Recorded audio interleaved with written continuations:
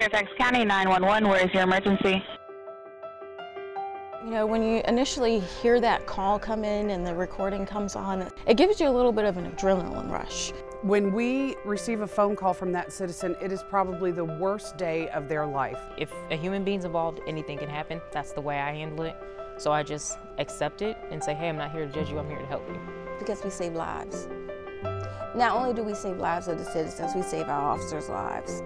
We save firefighters' lives. Every day when I wake up, I know that I'm going to come to a job that's going to allow me to help people. Well, you get a sense of fulfillment at the end of the day. Um, you know that you're doing meaningful work. You know that you're helping your community. You're keeping people safe. Um, you're strengthening your community. You're keeping people aware. So it's kind of a sense of pride, self-pride that you're going to receive. And I think that that's something that a lot of other jobs can't really offer you.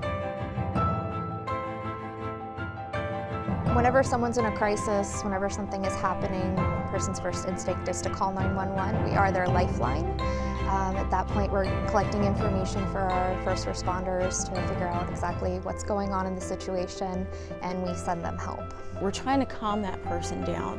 We want them to let them know that, you know, we're there to get them through whatever's going on. Our whole job is communications. That's all it is. Um, and you're either communicating the policies of the agency, um, law to citizens. Um, you are um, making sure that the officers have the information they need in order to do their jobs. There's so many things that go into putting a call in. There's so many things that go into dispatching a call. There's so many things that go into communicating to your officers and your firefighters to keep them safe. And they don't really realize all those things that are necessary because you've packaged them in a way that's seamless. Just yesterday, I took a phone call from a little girl who needed me. They were having a family crisis. And I was able to stay on the phone with her, calm her down. She was in tears. She couldn't help her mother. There was nothing she could do but talk to me and reach out for help. And I got her that help.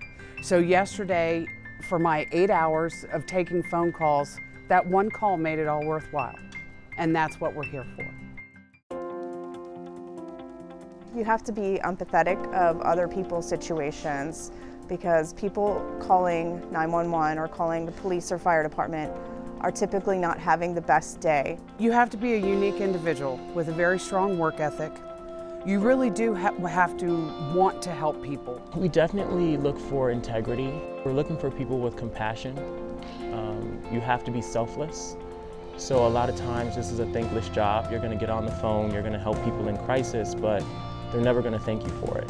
You really have to be great at multitasking, being able to handle a lot of things at once. You have to handle the caller as well as type information in, make sure that the units understand what's going on, being able to respond to questions from the dispatcher. So you're going to start in an academy uh, with your own specific cohort of people. And then after the academy, you're going to move on to on-the-job training. That's when we sit you with a trainer who's going to teach you how to do the practical aspects of the job. You learn how to listen to people, definitely in this job, how to hear what they're saying and read in between the lines. It does take a special type of person to do this type of work and it's not for everyone, but we do welcome you to come in, sit along, see what like a typical shift is like so that you can actually get a feel for the work that you'll be doing. When I leave at the end of the day, um, I know that I can go home, know that I've helped people, and that I can focus on my family. As far as the job goes, um, you get a lot of time off. I only work two weeks out of the month. Um, I get great benefits as far as a pension goes. I only have to be here 25 years and I'll have a, you know, a full retirement. And for me, I'll be fairly young when I retire. I knew that coming into this industry, 911 is something that's going to be around for quite a long time. Um, and this is something where it's a career. There's room for advancement. I feel good every day knowing that I've helped someone today. So um, I'm very fortunate to have a job like this where I get to do exactly what I want to do, which is help people. I don't just come to work for a job anymore. I come to work for a purpose. It means everything to give back to the community I have lived in all of my life. And I think I make a difference, and that means everything. But I think we're all out. Everybody, I think, is accounted for. That was it, Okay. yeah. Thank you. All right, you're welcome. Thank Okay, you. okay, bye. Bye-bye.